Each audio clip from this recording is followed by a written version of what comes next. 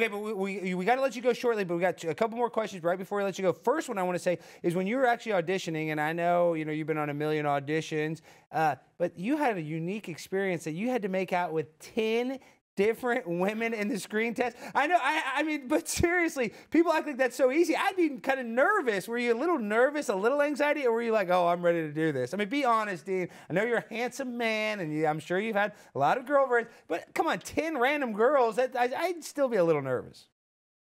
That's how. That's why I was Superman, and you weren't. exactly right. God, Dean, you just owned me. Oh my God.